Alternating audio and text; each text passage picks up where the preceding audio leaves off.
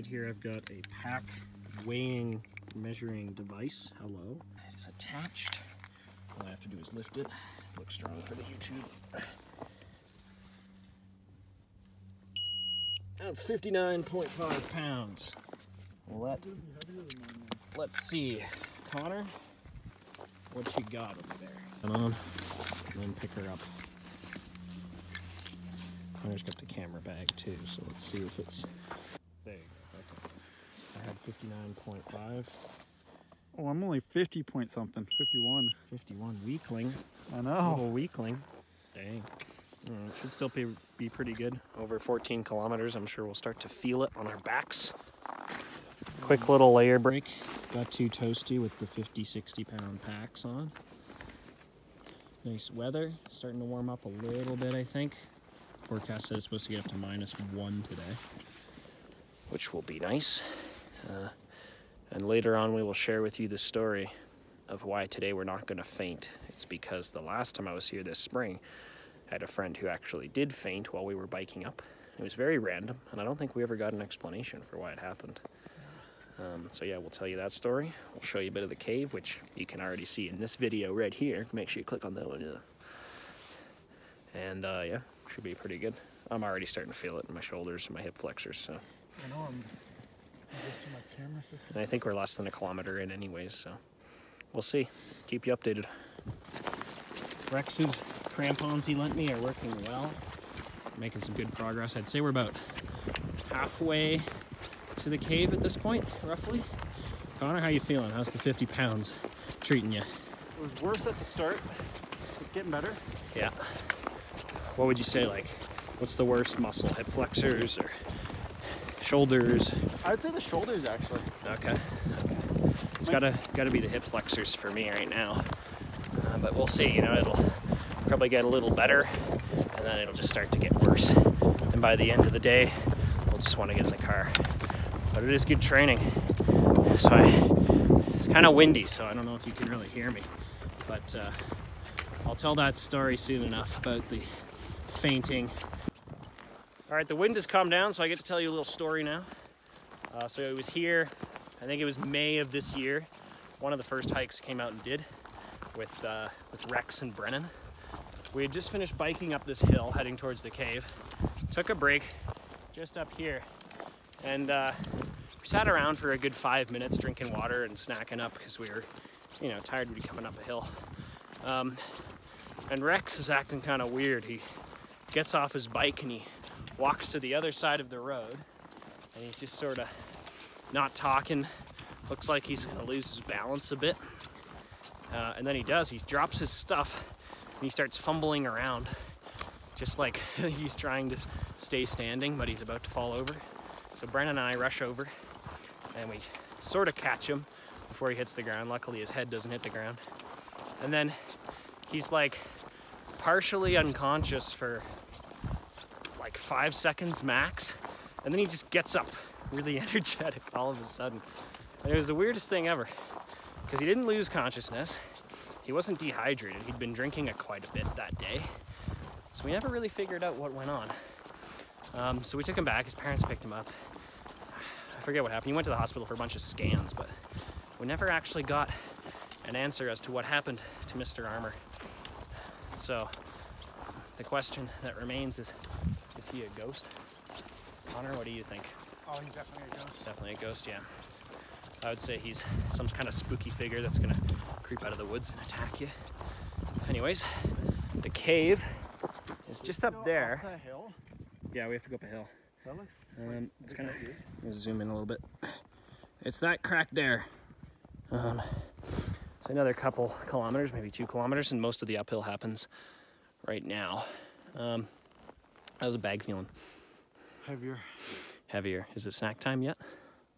I'd say this is a good spot for a snack. Yeah, Should we get enough. to like to the bottom of the hill first? Uh, if we have a break here, we might faint. So have to. Yeah, let's go down the hill a bit. There's spooky energy over here. Act like you were walking for the shot.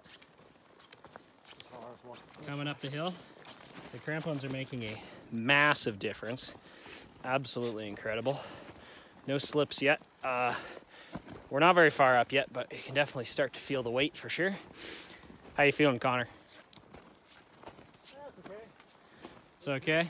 Kill seems to be getting bigger. Yeah, it does kind of. This is my pinky falling down. Well, we'll get a nice break at the cave. How does that sound? Cool, cool.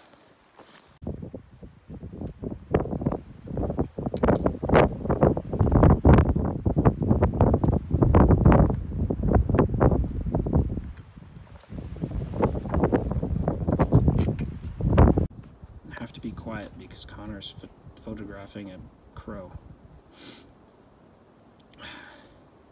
Pretty cool looking, bro. We've reached the entrance to the cave. There's a little sunrise action going on over there. We've been here before, so you might recognize it from another video. Um, this time, though, this time though, we brought 110 pounds of gear. So Connor's got some some plates in his pack, kettlebell as well. I've got some dumbbells and a bunch of yearbooks from high school. That was our little training session. The descent with these bags is going to be interesting. That's for sure. It'll be a slower process. Um, but now we get to enjoy the cave. Check it out, see if there's any ice uh, going on. There wasn't much uh, last time when we were here in the spring, but that makes sense. I'll be melting off. And then we'll kind of check out that little tight back area that uh, Brennan and I discovered last time that we were here. It looks like the crow's going. Got a good pick? Nice. Whatever works for you. So we reached the uh, tighter section of the cave, and unbeknownst to me, Connor is a bit claustrophobic, I guess. um, he's also concerned about a bear being inside this cave right now, which I can't say I'm concerned about, but eh, it's not impossible. Like he's ma- he's going faster than I was. Oh What is this guy on about? He says I'm scared of the tight space, and then he's freaking like That's because I was. he's in- Cave McJagger. Look what he's doing with his legs, dude. You had no problem with that. How are you supposed to go from here? What was that, Connor? Do you crawl under that? yes, Connor. Explain to me how you just did that so easily. I'm a pro caver. I have secrets, you know. Okay, we are going to consider the next section. How's No, that not. Connor says he only I wants to can't do even one see section. Into the next section. It's I swear to God, it's two three meters max, and then it opens up into a room just like this one. Just you want me to go first? I'll go first. But Connor, that was incredible. You were so efficient through there. Anyways, we'll see. I'll try to coax him in because I think he'll I think he'll like it if we get in there. I just think he's being a little bit. Oh, there's cool ice. There is cool ice, plenty of photography Do you opportunity. think I Trying can to. stand up through this crowd? Uh, Um, icicles where I might be able to get some photos. here we are. We are at pretty much the very back. There's another five meters or so, but that's fair enough. Connor has conquered his fear, at least a little bit today. I coaxed him through the first squeeze, which he did with literally no issue at all. I don't know what he was complaining about there. And then the second squeeze, again, no problem. The third squeeze, we almost didn't make it, but I just had to show it to him, and he realized it was wider than he thought. And now we're here. And before you comment, yes, we should be wearing helmets. And yes, we did learn that the hard way. Uh, we both had little bonks here and there. Not a mistake we'll make again. I should have brought a headlamp. Uh, also didn't do that. Um, and then now we face now we face a slightly sketchy descent from the cave with our big big bags on. That should be even more interesting than this. But Connor, how are you liking caves thus far? Not impressed. You're not impressed. They're so cool. No, they're okay. They're epic. It's like Uh. the underworld. Anyways, you I can. enjoy the overworld better. My my stance on caves is pretty pretty set. I am gonna hit the back real quick. May as well, uh, and then I'll meet you here. We can exit. Sound good? Well, I'm good to see you. Cool, cool. Connor's throwing a rock. Ice. Oh, it is ice. That, I forgot. Let's do it. That was kind of There was no echo at all. I thought it would. Connor Be, thought there'd I be thought it would like wicked echo. smash and it would be like a cool echo. I thought there'd be a cool echo too. Right? But well, you just see the light from the entrance. So cool in here. Okay, so Connor and I, we achieved greatness in the cave. We returned to our packs to find that Mr. Crow has ransacked the place. That thing's pretty heavy. Look how far he carried it. Wait, oh my god! That's Connor's first aid kit. The I'm just orange curious what else they took. Like, I don't know what was in There's got to be more stuff. Look, we got. What's that Cedar Summit thing? That's my lunch. That's his lunch. First aid kit down there. Sunglasses, jackets all over the place. Two jackets look, here. Look at the front of my. Logbook all scratched up. Savage crows, man. This zipper was. They just ripped all the stuff. Wait, they undid a zipper? Yeah, this zipper was closed. They. I guess it was maybe for part of How do they open a zipper? Wow, these are these are advanced birds we're dealing with. Is there anything else down there? No, all I see so far is your first aid kit. Wow, we got ransacked. We were robbed while we were in the underworld. Jeez. I was not expecting that. Did any of your food go missing? I mean, that's No, probably what the- they would get. The sack was closed up. Okay, lucky. That sucks. Stupid birds. Check your clothes so that they didn't like Yeah, see if it's all pick at it. hacked or ripped or anything. No, so It's dirty.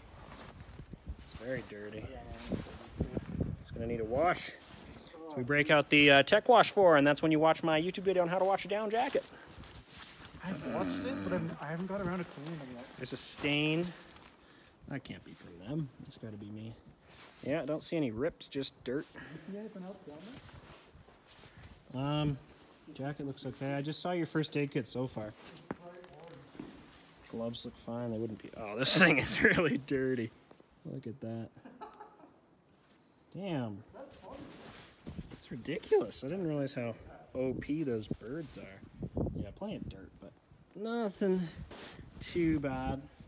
Well, that's interesting. Are you still filming? Yep. That's an experience I've never had before. Yeah.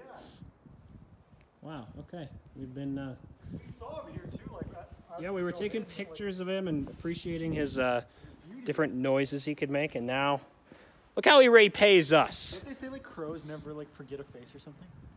Oh, really? Apparently, like, They might be cursed forever now. I don't think we. Wow. Okay.